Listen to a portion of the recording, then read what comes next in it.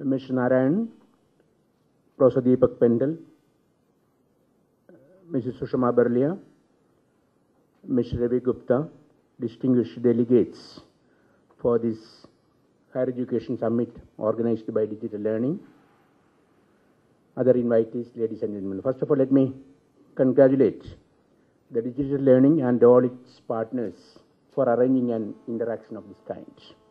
I'm also extremely happy to collaborate with Digital Learning in many educational and skill development uh, endeavors during the last uh, two to three, last three years. Uh, this activi- these activities of digital learning uh, about the use of ICT in different contexts, whether it be education, school, higher education, school education, vocational education, or governance, it has created a real awareness among, among education institutions. It has also created some sort of a synergy between education institutions and the corporates uh, working in the area of information and communication technology.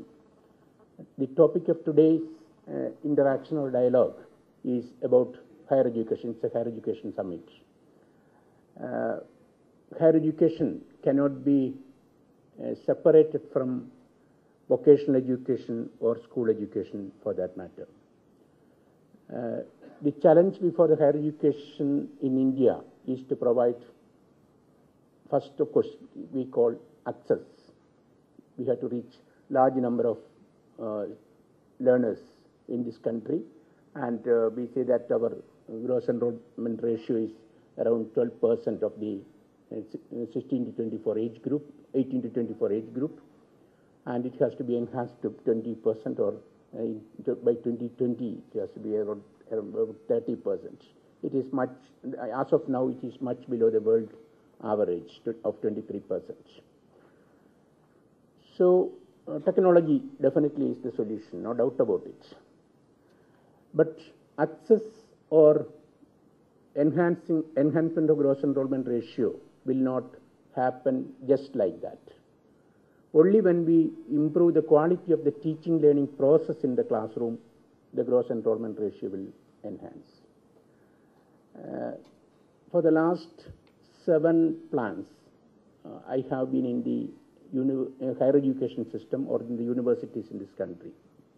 Every five year, as part of the uh, plan document or plan objectives, we used to say that we have to enhance the gross enrollment ratio from 5 to 5 to 10 or 10 to 15 and all that. But for the last seven plans, we have been only limping.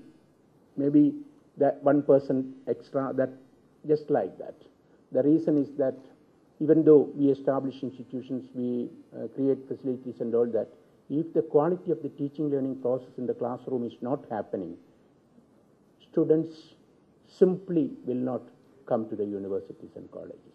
That is, that's about that. So the first and foremost thing in higher education is to enhance the quality of the teaching learning process in the classroom and gross enrollment ratio will automatically happen or enhancement will automatically happen. That, that, is, that is the experience all over the world.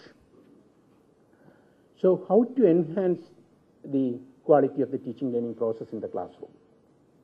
Only by enhancing the domain knowledge of the teacher. If I know my subject, I will know how to teach it, I will know how to do it. So the, the first and foremost thing uh, when we when we talk about improving uh, the overall uh, quality of higher education system is to improve the domain knowledge capabilities of the teacher first and naturally if the domain knowledge capabilities of the teacher is enhanced uh, it will it will be reflected in the classroom teaching. The learner will uh, take it and naturally uh, uh, reach of education will also enhance. And the role of ict there is no need of emphasizing the role of ict to an audience of this kind uh, for that purpose. So how a teacher can uh, make use of ict to teach his subject uh, much more effectively and then how a teacher can make use of ICT uh, to make his best class, best teacher-learner interaction available to any, anybody, anytime, anywhere, ICT is the solution. Technology is the solution. Probably some of you might have read the, um, the, this year's no, chemistry Nobel laureate, Mr. Ramakrishnan's biographical uh, sketch in The Hindu, yesterday and today, in two parts. Uh, he has published the biographical. Uh, he was narrating right from his school days, his Bar- Baroda uh, University days, and his research, how he um, jumped from uh, physics to chemistry to physics, biology to chemistry, uh, how interdisciplinarity and transdisciplinarity happened, how the teachers motivated him, right from he was he was narrating uh, uh, various incidents uh, in the Baroda University uh, classrooms, college classrooms itself. So how the teachers motivated this. So we have to look at uh, contextualize the applications of ICT. We talk about ICT and uh, ICT technology is definitely showing results. But we also know that technology cannot teach, only teachers can teach. And therefore, uh, the teachers have to be equipped with the appropriate technology. Uh, what is required in higher education is uh, probably making uh, technology more comfortable uh, with, with the teachers. And if you just look at the technology used by the students, percentage technology used by the students and the teachers, we can very well see that uh, the students make use of technology more than uh, the teachers as of now. Uh, then technology uh, has to be utilized for different purposes. For example, for to make the best content available to the teacher. The teacher has to, uh, the, we, when we talk about higher education, we cannot also, uh, I mentioned already, we cannot separate uh, teacher education or school education from that because if you just look at the best, the uh, quality of the teachers, uh, the quality of the teachers will also depend on uh, the, the domain knowledge subject area and then coupled with teaching pedagogy. And this has to be, for example, technology enabled teaching and learning has to be part of the curriculum of the, of the teachers.